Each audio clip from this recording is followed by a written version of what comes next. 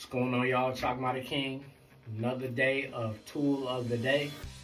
And the one I got for y'all today is, it's a dope one, I guarantee it. This right here, this was called an angle finder.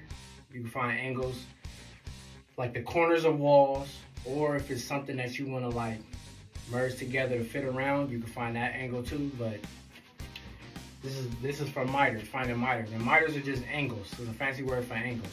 All right, but I'm gonna show y'all exactly how this works. So normally these right here, these corners, are 90 degree angles, typically. That's what they're meant to be, but that's not always the case. Sometimes they're different, they're, they're, they're off. This tool will give you the exact measurement reading for that.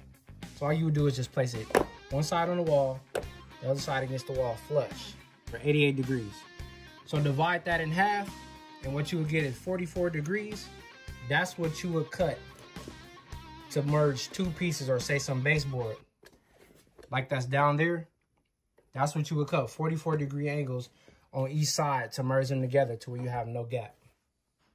Now you did the inside corners, right? Now about these outside corners, say all you have to do is just rest the way you did it. So you got to place that zero by closing it. All you would do, open it up and just place it flush one side, flush on the other side, and it'll tell you your reading. So also 88 degrees. So we just cut it at 44, 88.8, so cut it at 44.4 degrees. And, or just cut it at 44 degrees and you will have one of the closest seams when you're trying to merge two pieces of baseboard or trim or whatever you're putting on your wall or your corners. Hopefully you like that one. This tool is tight. I like this tool a lot. I love doing miters, like miter cuts. I love making angles.